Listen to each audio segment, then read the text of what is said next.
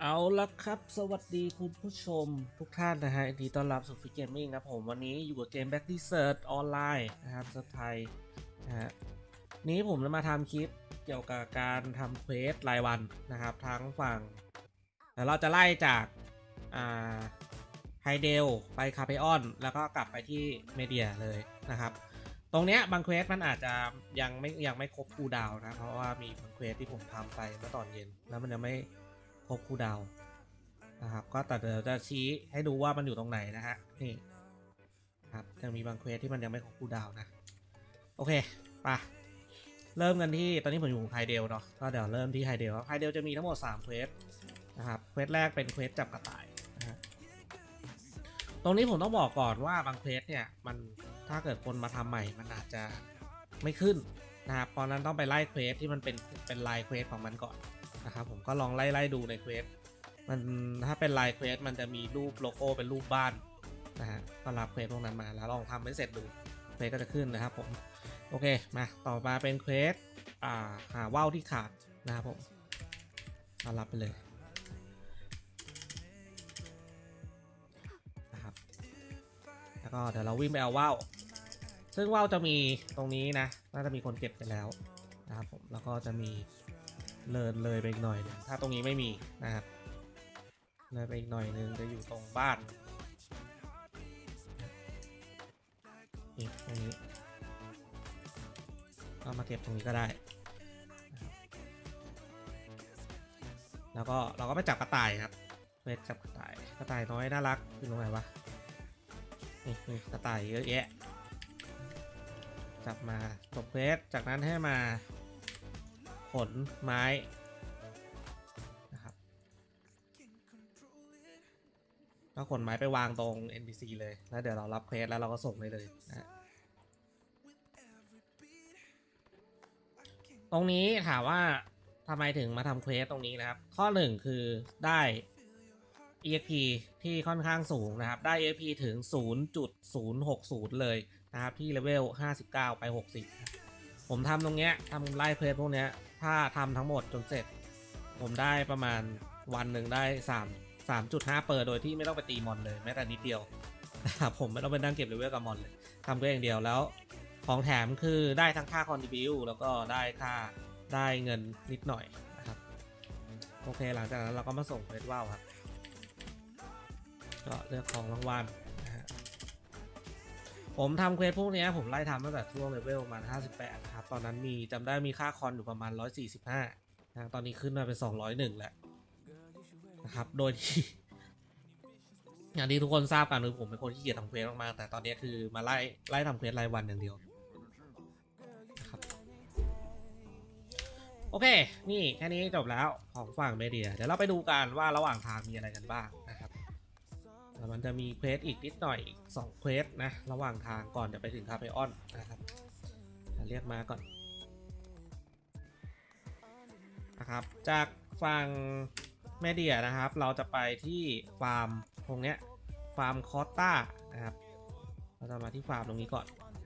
มันจะมีหนึ่ง quest เป็น quest ขนขนของนั่นแหละ ชิวๆนะ ไม่ได้มีอะไรที่มันยากมากมายนักหนาอะ แ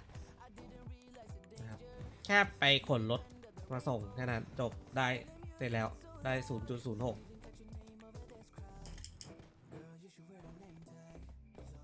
ครับเดี๋ยวเราจะจอดมาไว้ตรงนี้แล้วเดี๋ยวเราวิ่งไปรับรถ PC ตรงฝั่งนู้นแทน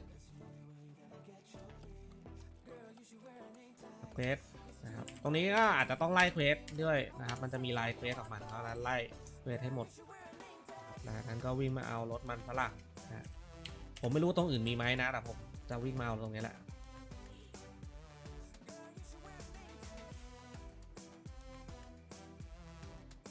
คือถ้าจำได้นะครับ ช่วง 57กับ58ครับผมเวลได้แค่วันละประมาณ 12 เปอร์นะฮะ แบบตีมอนอย่างเดียวเลยนะ แบบตีแบบบ้าบ้าบอลเลยได้แค่ประมาณ 12 เปอร์ แต่พอ 58 มา 59 เนี่ย ผมเวลได้วันละ 10 เปอร์แบบชิวๆครับ คือตีมอนเก็บเลเวลแค่ประมาณชั่วโมงครึ่ง2ชั่วโมงประมาณนี้ อืมแป๊บเดียวได้ละ10เปอร์เพราะว่าทำ quest พวกนี้ได้6เปอร์เลย6เปอร์กว่าเกือบ7เปอร์อะไล่เควสพวกนี้นะฮะผมก็จะไล่จากไฮเดลไปที่ อ่าไล่จากคาเปออน แล้วก็ย้อนกลับมาไฮเดลนี้เราก็ส่ง NPC ครับแค่นี้แล้วก็เลือกของจบนะ ต่อไปเราก็จะไปที่ฟาร์มใกล้หมู่บ้านกีดครับ จะเป็นฟาร์มตรงนี้ เราเดี๋ยววิ่งไปเลย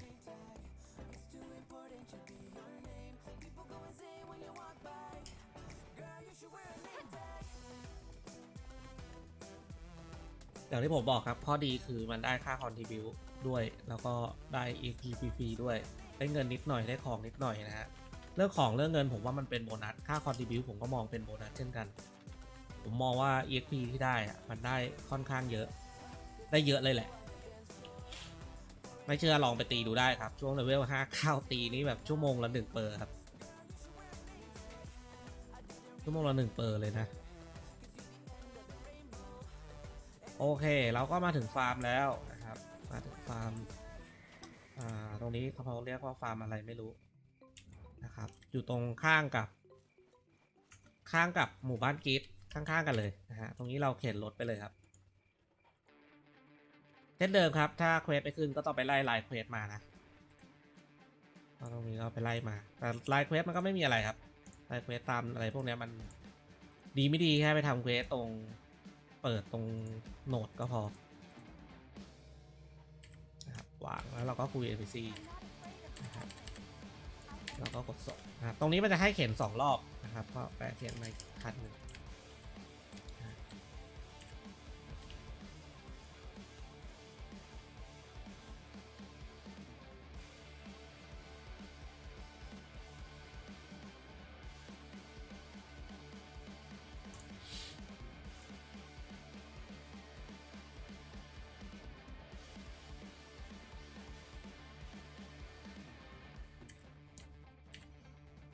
แค่นี้ครับ แล้วเราก็รับของรางวัลได้เลย อย่างที่เห็นครับคือมันได้ quest หนึ่งเนี่ย ได้มา 0.06 นะครับ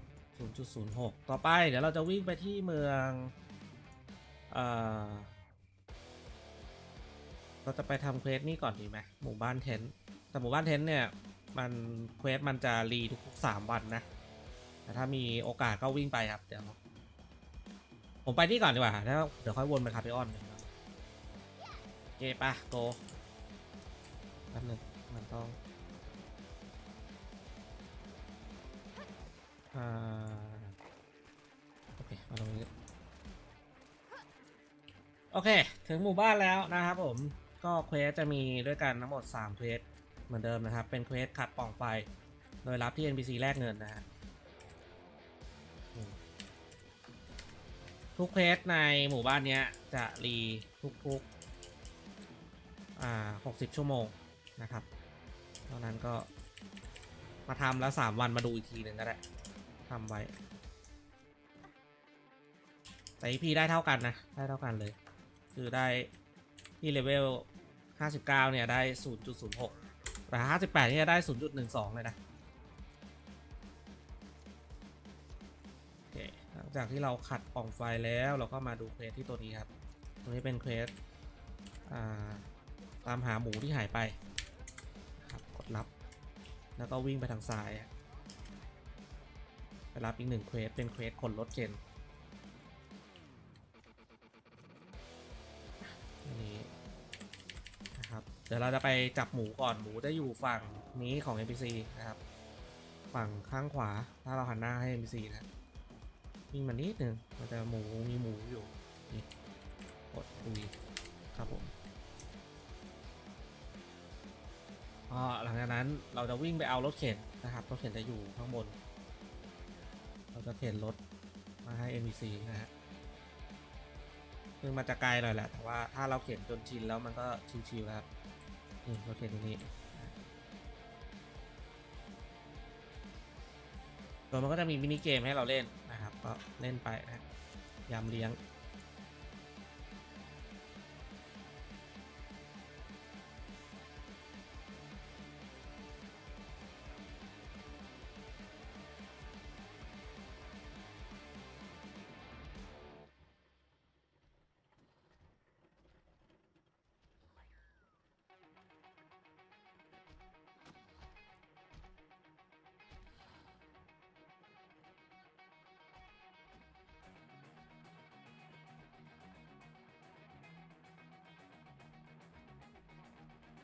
ก็เอาไปวางแนบ NPC เลยนะครับ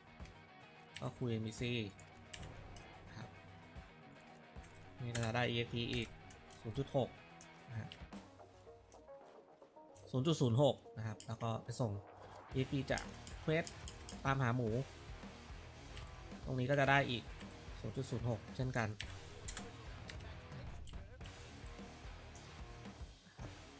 โอเคเสร็จเป็น quest ของหมู่บ้านเทนส์ต่อไปเราจะไปที่คาเ e ออนนะครับ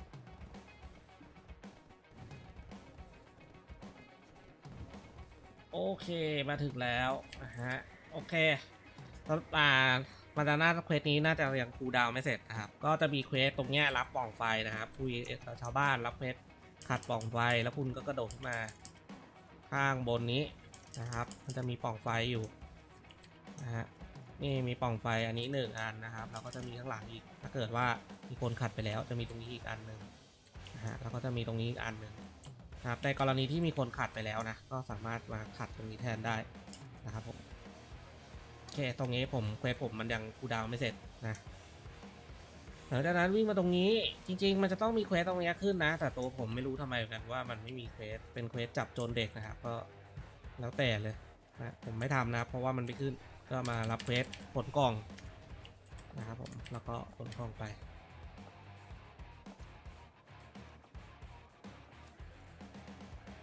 ก็ผลไปให้อ่า NPC ขายปลานะครับซึ่งผมเดาว่าในกล่องนี้ก็คงจะเป็นปลาแหละ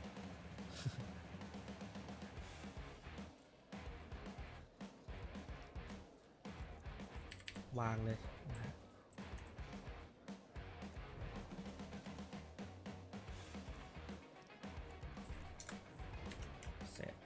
จากนั้นวิ่งขึ้นบันไดข้างๆมาครับ เราวิ่งตรงมาเลยยาวๆ ตรงนี้ก็จะเป็น NPC ขัดปล่องไฟเหมือนกันนะครับ ซึ่งผมเควสมันก็ยังคูดาวไม่พอนะครับหลังกระโดดขึ้นมานะครับกระโดดชึบ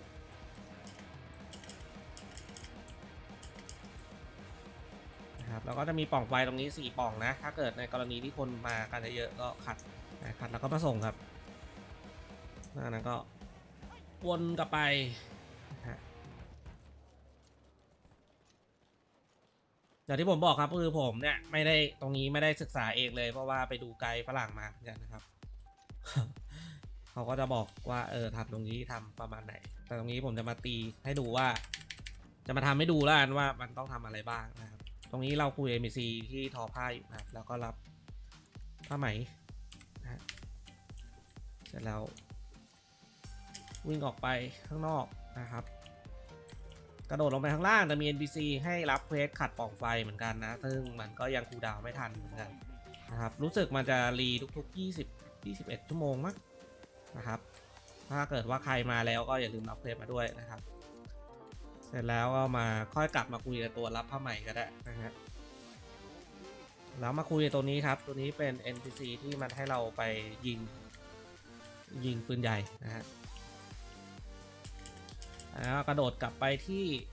ปล่องไฟตรงนี้จะมีทั้งหมด 4ปล่องเหมือนเดิมนะครับถ้าเกิดมีคนขัดแล้วก็ไม่ต้องขัด ไม่ต้องขัดซ้ำขยับไปขัดอันอื่นแทนนะครับ เสร็จแล้วก็กระโดดลงมาส่ง quest ตัวนี้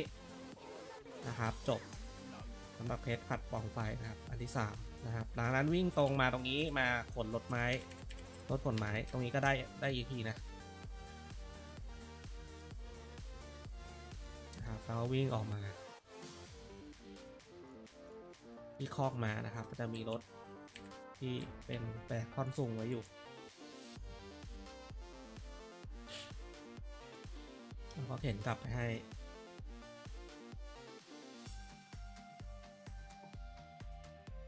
เข็นกลับไปให้ NPC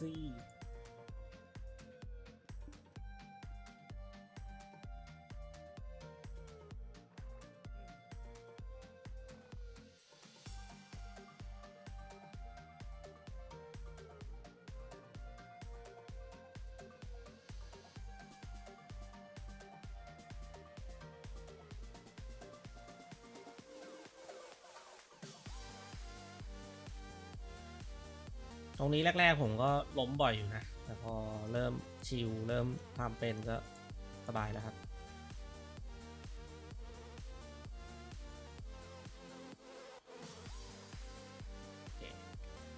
ส่งเควสครับ เลือกไม้ที่เราอยากได้ก็วิ่งออกไปเลย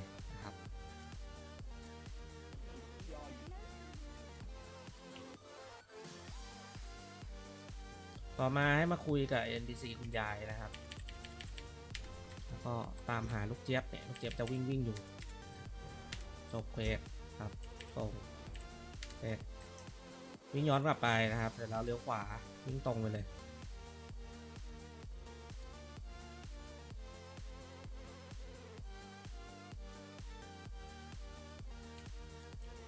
อะต่อไปก็คุยกับ NPC ตรงนี้เป็น NPC จับแพะ นะครับ เราก็อย่าลืมมาคุยกับ NPC ข้างมันเพื่อเอาผงสมุนไพรไว้เรียกแพะนะครับ ก็เรียกแพะได้เลย ลูกแกะ ลูกแกะไม่แพะ ลูกแกะพยองครับ พอเราวางเสร็จแล้วเราก็คุยกับแพะจับมาเอาไปส่ง เสร็จไปอีกหนึ่ง quest นะครับรับ quest ปุ๊บจับโจร โอเคแล้วนะเลี้ยวขวาครับวิ่งขึ้นสะพานไปคุยกับ NPC หนึ่งตัวนะครับ เพื่อที่จะได้ quest ให้อาหารลูกไก่ลูกเจี๊ยบครับตรงนี้นะแล้ววิ่งย้อนกลับไปทางเดิมครับออกขวาย้อนไปทางเดิมออกขวานะครับออกนอกประตูแล้วเลี้ยวขวาเลยนะครับเพื่อที่จะไปยิงอ่าปืนใหญ่ครับนี่ ก็วิ่งตรงมาขึ้นสะพานนะฮะ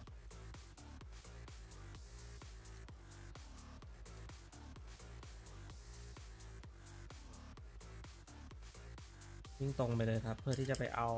อ่าเศษขนมปังมาให้ลูกเจี๊ยบครับขนมปังก็อยู่ตรงนี้นะครับหลังจากนั้นให้กดวางได้เลย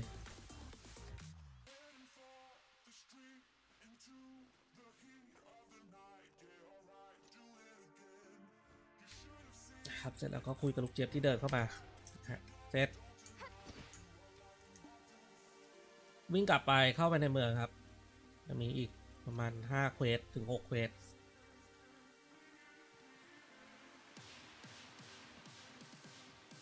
ครับคุย NPC ตัวนี้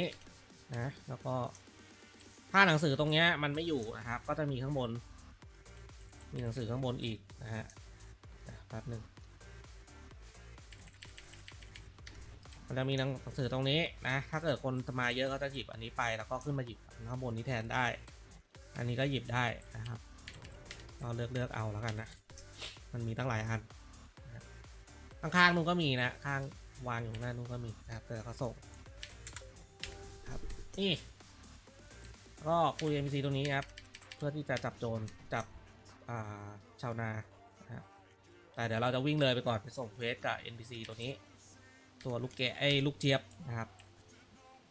ตรงนี้ก็เลือกของแล้วก็ไปเสร็จแล้วคุย NPC ตัวนี้นะครับ รีบคุยนะตรงนี้เดินรอๆมันด้วยนะครับ เพราะบางทีมันเดินตามเราไม่ทัน เดินรอๆมันนิดนึงนะครับ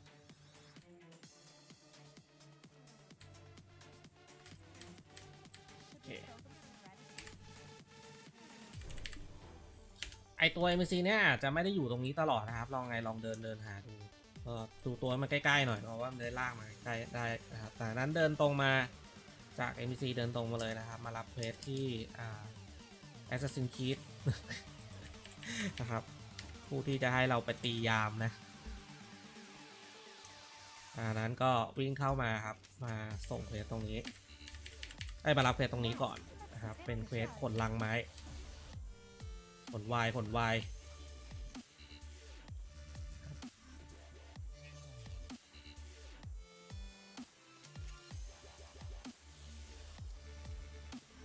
พอหลังจากที่เราผลวายมาแล้วก็เดินย้อนกลับเข้ามาครับมาตรงที่งานเลี้ยง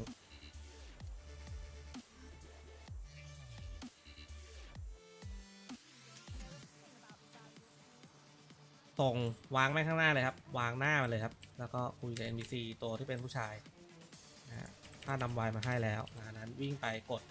ผ้าไหมใส่ผู้หญิงนะครับ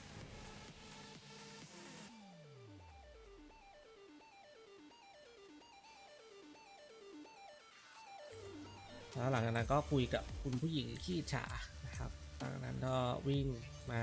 รับ quest ตรงนี้เป็น quest เอาอาหารไปให้คน ผู้ประผู้ประท้วงที่อดอยากนะครับแล้วก็ส่งเควส NPC ตัวนี้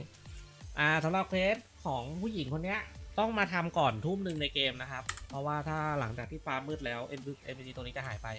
นะครับ ต้องรอเช้าเลยทีเดียวยังไงก็มาไล่ quest ตรงนี้ก่อนทุ่มหนึ่งนะฮะ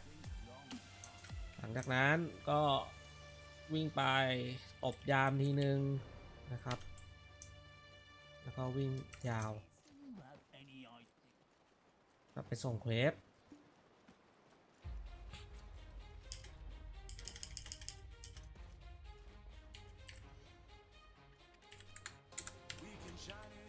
นี่ยผมได้ 21.2 เปิดแล้วนะครับส่ง quest แค่นี้ส่ง quest อันนี้ด้วย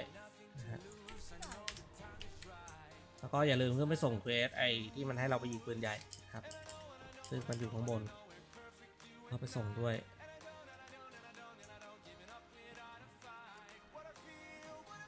ตรงนี้ก็เลือกแร่นะครับอ่านั้น เราก็จะวิ่งไปทำอีก2 quest ที่อยู่ทางฝั่งหน้าเมือง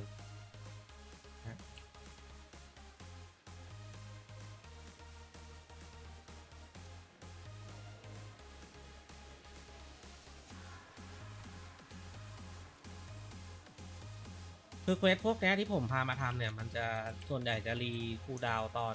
ทุกๆเที่ยงคืนนะก็ถ้าว่างก็มาทำเลยก็ได้ครับช่วงเที่ยงคืนมันจะได้ชนคูดาวพอดี แต่มันจะมีบาง quest อย่าง quest ขัดปล่องไฟ quest ที่หมู่บ้านแทนที่มัน re เป็นชั่วโมงครับ quest ขัดปล่องไฟผมไม่แน่ใจว่า re 22 หรือ 21 นะเห็นในวิดีโอของที่ผมดูมันบอก 21 อันนี้ก็ไม่แน่ใจเหมือนกันนะครับไม่ได้ไม่ได้จับเวลาแต่ว่า 1 วันผมจะมาทำหนึ่งทีมันก็จะ วน cooldown มาพอดี โอเค หลังจากที่เราแบกกระสอบมาใช่ไหมครับ เราก็มาคุยกับผู้ประท้วงตรงนี้นะครับ ถ้าตรงนี้ใครที่ quest ไม่ขึ้นนะครับ ผมแนะนำให้ไปไล่ line quest มาก่อนนะ line quest มันจะอยู่ตรง NPC ที่อยู่บนเนี้ยอยู่บนเวทีเนี่ยคุยแล้วก็ทำ quest กับมันไปก่อน quest หนึ่งจะขึ้นนะ ในกรณีที่เราคนไม่ขึ้นนะครับคนที่ quest ไม่ขึ้นจากนั้นวิ่งตรงขึ้นมาครับวิ่งมาตรงนี้จะเป็น ที่อยู่ของผู้หิวโหยนะฮะผู้ต่อต้านที่หิวโหยนะครับแล้วเดี๋ยวเราก็ดู NPC ที่มันขยับยืนขึ้นนะฮะแล้วเราก็คุย NPC ที่มันเป็นสีฟ้าๆกับพิบจบครับแค่นี้แล้วก็เอาเพลงส่ง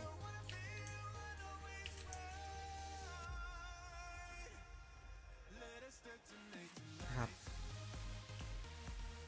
นี่ยังเหลืออีก3เควสที่ผมยังไม่ได้ทำนะไอ้พวกเควสขัดของไฟนะครับแล้วให้เราวิ่งมานะครับ แล้วก็กระโดดลงตรงนี้นะฮะ ระโดดปุ๊บปุ๊บบนะครับ มาส่ง quest ตรงนี้ จบ quest ที่คาเฟออนเรียบร้อยนะครับ ผมได้มา 1.47 เปอร์นะครับโอเค ต่อมาเดี๋ยวเราจะไปทางฝั่งเมเดีย หรือฝั่งอันติโนวานั่นแหละ นะครับเดี๋ยวเราจะไปทำให้ดูว่ามี quest อะไรบ้าง แล้วก็มันจะมี quest บาง quest ที่มันจะ cooldown ไม่เสร็จ ซึ่งเดี๋ยวผมก็ทำต่อ stream แล้วแหละไม่เป็นไร เรียกมา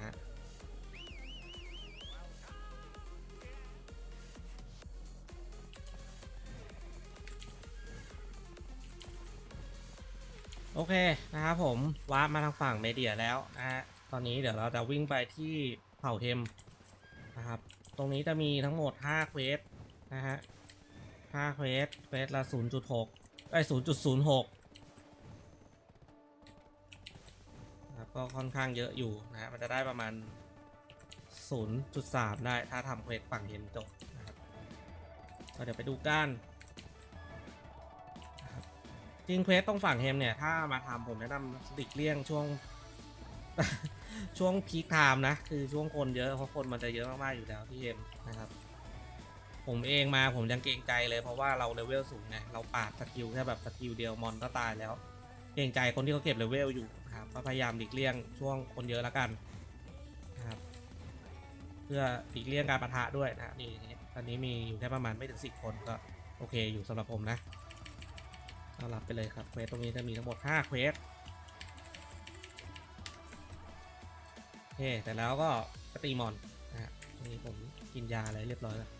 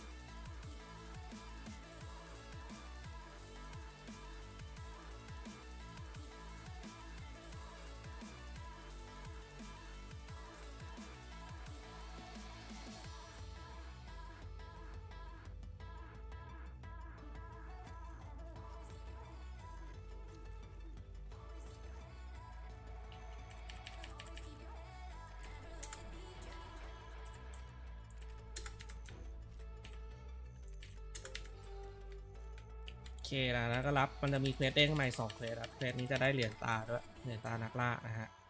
quest นี้ตีถ้ำห้าอัน อันนี้ง่าย เพราะไม่น่าจะมีคนมาตีมันมันไม่ก็มีอะไร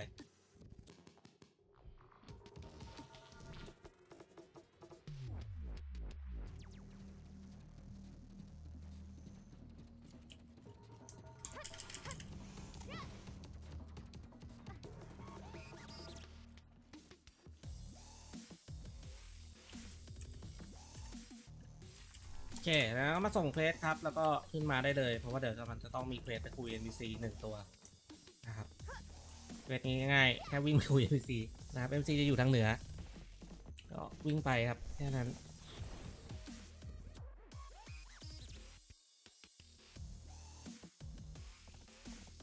อะคุย NPC ตรงนี้ครับ ก็คือจบ quest ได้อีก 0.06 ชิวๆ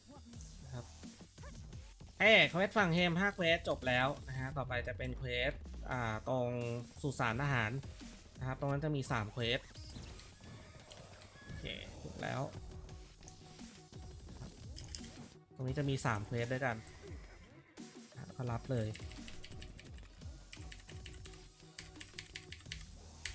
ที่สามโอเค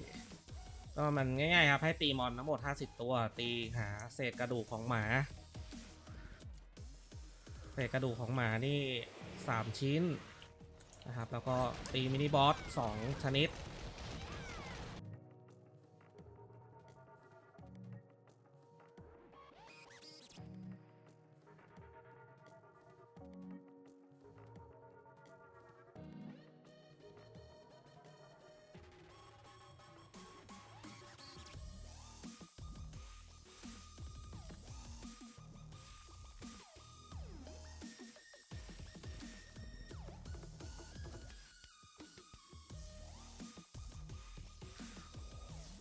ผมว่า quest มันค่อนข้างง่ายนะ ถ้าในความคิดผมอะมันตีแป๊บเดียวเอง ถ้าเกิดว่ามันมี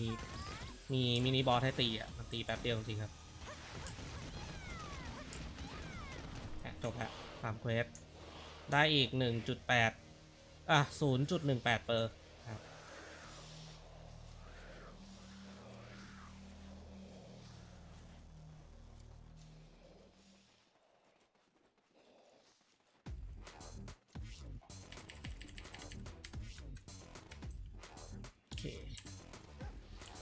เสร็จแล้วตอนนี้มีได้มา2เปอร์แล้วนะวางไคไพออน แล้วก็ไฮเดลครับเมเดียอีก 2 จุดนะฮะต่อไปจะเป็น quest ตามตาม map นะตาม node แล้วที่ต่อไปที่จะให้ไปก็คือฟาร์มม้านะครับ อะโอเคเรามาถึงฟาร์มม้าแล้ว ตรงนี้จะมี2 quest ด้วยกันนะครับ ก็คือ quest เข็นรถเข็นกับ quest จับ raccoon ผมแนะนำให้มารับ quest ที่ตัวจับ raccoon ก่อนนะครับ ตรงนี้ถ้า quest ไม่ขึ้นเนี่ยผมแนะนำว่าไล่ quest ตรงใน map เนี้ยซึ่งมันมีอยู่นิดเดียวน่าจะประมาณ2 quest ได้มั้งลองไล่ดูกันนะ quest ถ้าเป็น line quest อะมันจะเป็น quest ของ มันจะมีรูปบ้านขึ้นข้างหน้า quest นะฮะผมกดให้ดูแป๊บนึง สึกในนี้ผมจะไล่ไปหมดแต่เดี๋ยวกดตัวอย่างให้ดูแล้วกันนะครับ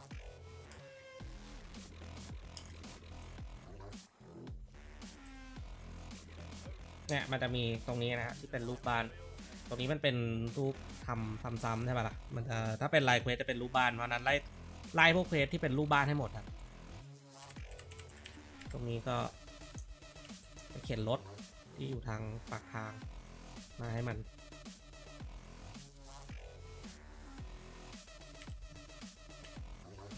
เขียนรถอีกแล้ว เน้นเควสเขียนรถ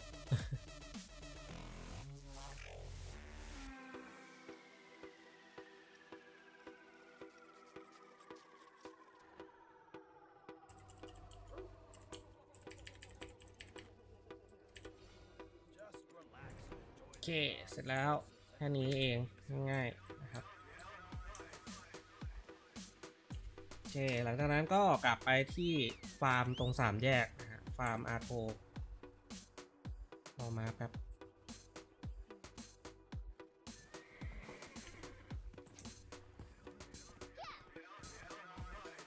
กลับไปที่ฟาร์มอาร์โทจะมีหนึ่ง quest เป็น quest จับไก่ครับ ตอนนี้เราได้มาทั้งหมด 2.16 แล้ว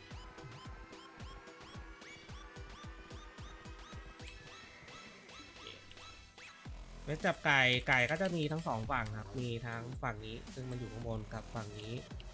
นะถ้าฝั่งนี้ไม่มีนะมีอยู่ตัวหนึ่ง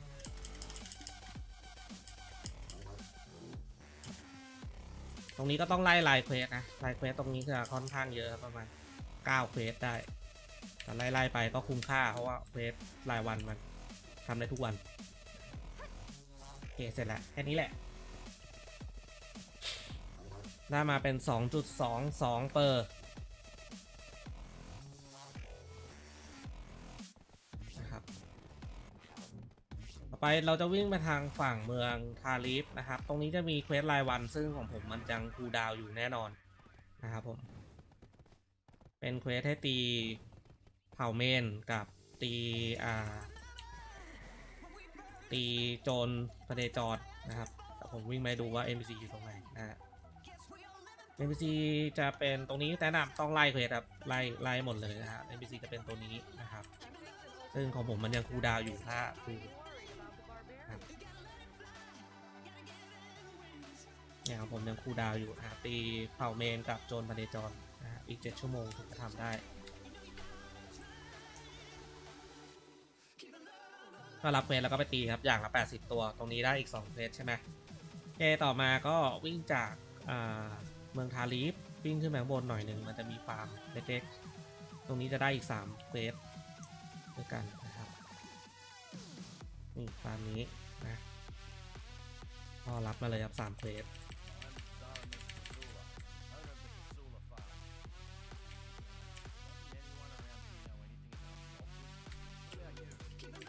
นะครับตรงนี้ก็ด้วย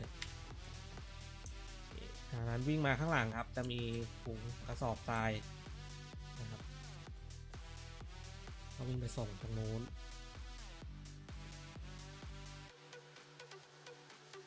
ตรงที่จามัวครับ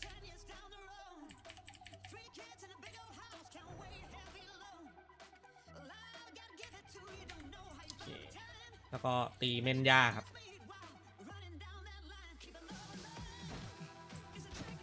สิบตัวเมนย่าก็จะอยู่เนี่ย รอบๆนะฮะก็ยิงยิงๆไปให้มันครบ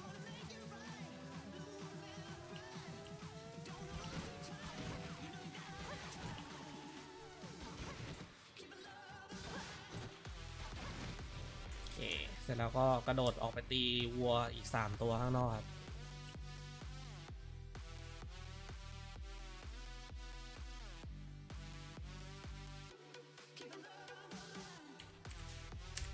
quest มันอาจจะดูว่าได้น้อยนะ แต่สำหรับผมถ้าเกิดมันรวมๆกันมันได้เป็นเป็นเปอร์ผมว่ามันคุ้มถ้าในความคิดผมนะอันนี้เรารับเพชรเลยมาก็จะยอมแพ้ ครับตอนนั้นเรียกมาครับ ไปที่เมืองอันติโนวาตอนนี้เดี๋ยวเราไปรับเควสที่อันติโนวามันมีสองเควสครับ เป็นเควสให้ตีโซซันกับอ่ามอนตรงวิหารเอลิก เราก็รับไว้ก่อน แล้วก็ไปตีแล้วก็มาส่งแค่นั้นครับ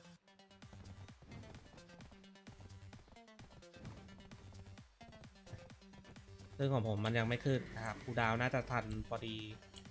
ช่วง stream นะครับก็รับตรงนี้ต้องไปไล่ quest ในเมืองมาให้หมดนะครับแล้วมันถึงจะมี quest ตรงนี้ตรงนี้ขึ้น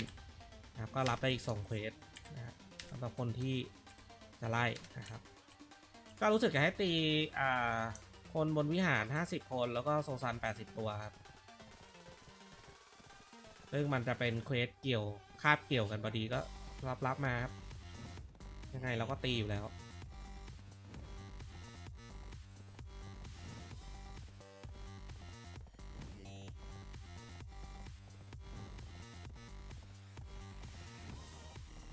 ตอนนี้เท่ากับว่าผมพลาด quest ไปถึง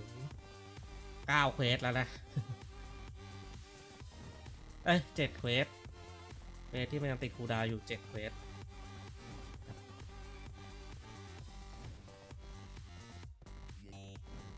โอเค หลังจากรับ quest ที่จะตึกอัลติโนวามาเรียบร้อยแล้วนะครับ ให้วิ่งมาตรงเหมืองร้าง มันจะมีหมู่บ้านอยู่ข้างซ้าย ข้างขวาของแผนที่ข้างๆเหมืองร้าง หมู่บ้านอาบุญ ไม่รู้อ่านถูกหรือเปล่านะโอ้มองไม่ชัดเลยครับจะมีหมู่บ้านนี้เป็นหนึ่ง quest คือเราจะไม่ทำก็ได้แต่สำหรับผมผมผมจะทำครับ แค่ quest หนึ่งเราก็จะท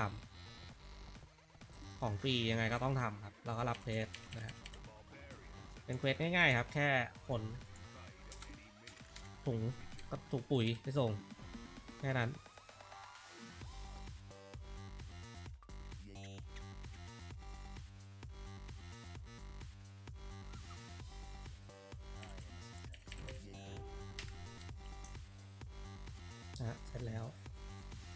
ได้ข้อ con เพิ่มมาอีกหนึ่งตอนนี้เท่ากับว่าผมได้ con มาสามแล้วนะได้ contribute มาสามแล้วนะครับ ต่อไปเราจะวิ่งไปที่หมู่บ้านอ่าคูซานะครับ ตรงนี้ quest น่าจะยังไม่ทันยังไม่ยังไม่ขึ้นมั้งเดี๋ยวลองวิ่งไปดูก่อนเผื่อว่ามันจะขึ้นแล้ว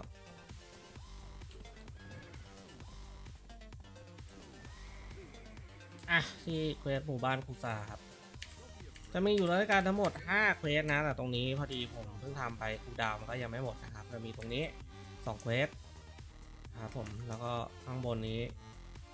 อีก 1 quest ครับแต่ผมใกล้เอ่อ quest ผมมันยังไม่มา ตรงนี้ 1 quest ครับ ก็น่าจะมาช่วง stream พอดี ก็ตรงนี้อีก 1 quest อันนี้หนึ่ง quest นะครับ ก็ทั้งหมดห้า quest ทางหมู่บ้านคูซานะ เวสก็เหมือนเดิมครับ เน้นการแบกของเอาของไปส่งแล้วก็ตี mon นิดหน่อยนะฮะตรงนี้ถ้า quest ไม่ขึ้นก็อย่างเดิมครับ ไล่ quest ด้วยนะฮะ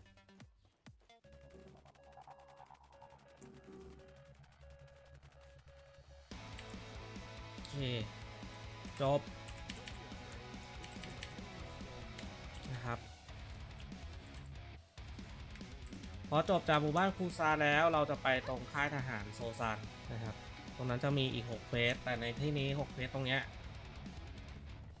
หลายคนอาจจะยังทำไม่ไม่ผ่านนะครับ มันจะมี quest ที่ให้ไปตีทางทหารม้าชู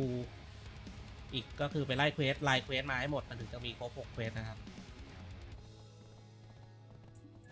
โอเคโซซันจะมีทั้งหมดอีก6 quest ด้วยกันนะครับ quest ที่หนึ่ง quest ที่สอง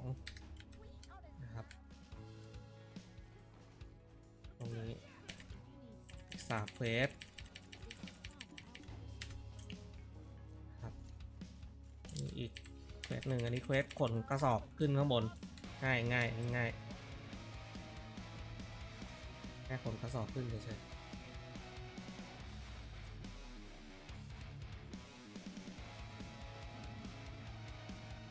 นี่เท่ากับว่าผมพลาด quest ไปทั้งหมดเจ็ดกับ เจ็ดกับอีกสี่ quest ไรละสิบเอ็ด quest พลาด quest ไปสิบเอ็ด quest นะเพราะ cooldown ยังมาไม่ยังมาไม่หมดนะครับโอเค เดี๋ยวเราจะไปทำ quest ทางฝั่งโซซันกัน quest ฝั่งโซซันก็อย่างที่รู้กันครับ ตีเต็นท์ตีโซซันแล้วก็ไปตีอ่าโซซันใหม่ Okay. Plah Timon.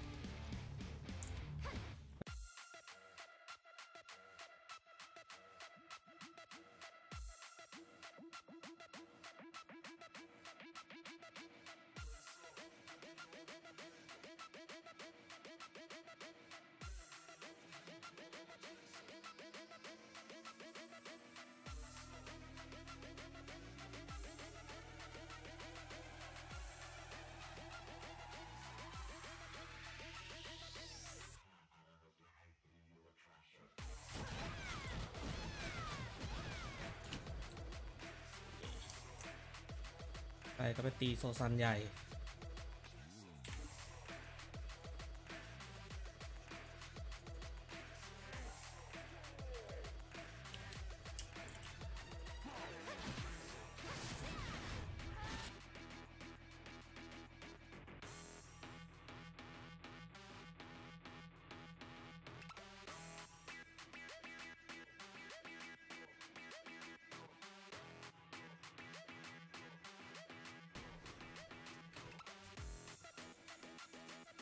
โอเค เสร็จแล้วนะครับ เดี๋ยวเราไปส่งเควสกัน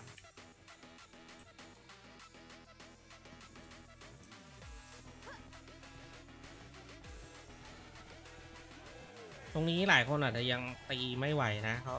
ในลองตีให้มันได้แรงเอสก่อนครับแล้วก็มาลองลองจิ้มจิ้มดู ผมตอนแรกก็ตีไม่ไหวหรอกมันอัปเดตมาแล้วมันปรับให้ตีง่ายขึ้น นี่อีกหกเควส